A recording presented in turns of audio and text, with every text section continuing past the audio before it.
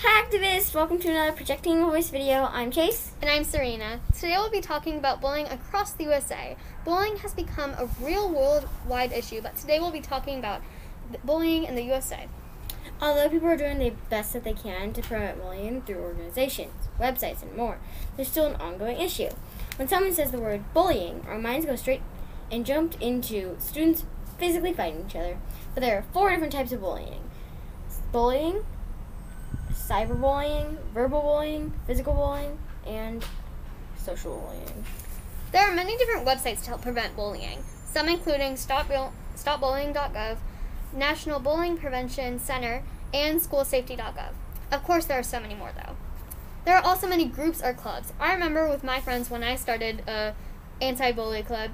It didn't last that long, but I still encourage you to make your own. There are many different ways to stop bullying. For example, if you are the victim, you can always tell a bully in a competent way to stop and also ask an adult or teacher to help you get the situation if it gets out of hand. If it's cyberbullying, then block the person. Many times, cyberbullies can also be hackers and scammers. I play this online game called Roblox. I'm sure many of you guys have heard of it. And there is a ton of games in that little world, and a lot of them you can get scammed in. Like you can steal your pets, they can steal your money, can, they can steal your house, they can steal your coins. Whatever you have, you can get scammed. So I encourage you guys to stay safe. Mm-hmm. You can also tell an adult, comfort, or stand up to someone who's getting bullied. I one my friend she got bullied once for getting for having glasses and she couldn't see without her glasses like she's almost legally blind. And i had to confront her i had to confront the bully not her. Mm-hmm. and she was just really thankful after that and made me really happy so i encourage you guys to do that. Yeah. Okay there are four different terms when it comes to bullying. Term number one being the victim which is the person being bullied. Term number two being the bully which i'm pretty sure we all know who that is. Um, term number three being a bystander. A bystander is someone who watches a situation of bullying in action but does nothing to do about it. Well, an upstander is the opposite, where they'll watch the situation but do something, do an action to help you to um, make a change for the better. So, which person are you and which person do you desire to be? An upstander doesn't necessarily have to talk to the victim or confront the bully. An upstander can ask an adult if they need help, or um, as something as long as there's change, the better is made. I try my best to be an upstander, but in some case, cases it's better to be a bystander.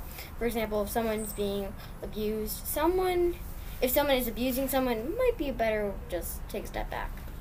For me personally, I've been bullied several times for my race, name, looks, height, and weight. It really it really hurt when I first started getting bullied for my looks when I was just 6 years old. Like imagine bullying a 6-year-old.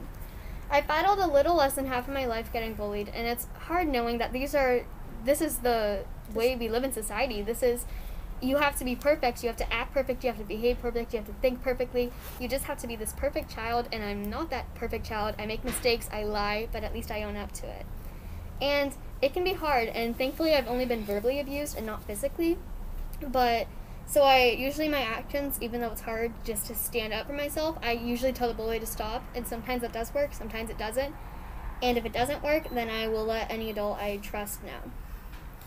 Bullying can have long term effects like suicide, depression, low, low self esteem, and more. Suicide rates are going up because of this. Imagine being a bully just to find out that someone t- took their life because of you. I know if I was the bully, I'd consider myself a murderer. Think before you act. Under no circumstances is bullying okay or cool. Bullying should never be tolerated. As weird as it sounds, your friend can even be a bully to you. If your friend is teasing in an unjoking like way or spreading rumors about you, they're not a true friend.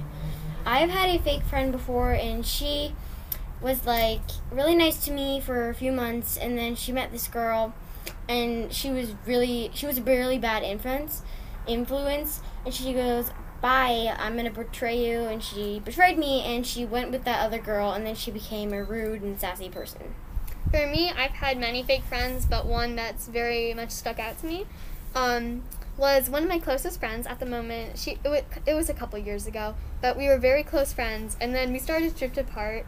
But we were still like friends. We still kind of hung out, And but she met another friend, and I'm not gonna say her name, but she was a bad influence. And then my friend, um, she became a bad influence, and she started. She would like um, hit me, and it just wasn't okay. So I've had many fake friends, but she's the one who's really just stuck out to me. It could turn out the person who you would take a bullet for. Could be the one behind the gun. Don't share secrets with people you don't trust. So, if you see anyone being bullied, be an upstander. Bye activists and make sure you like and subscribe and comment down below for more videos.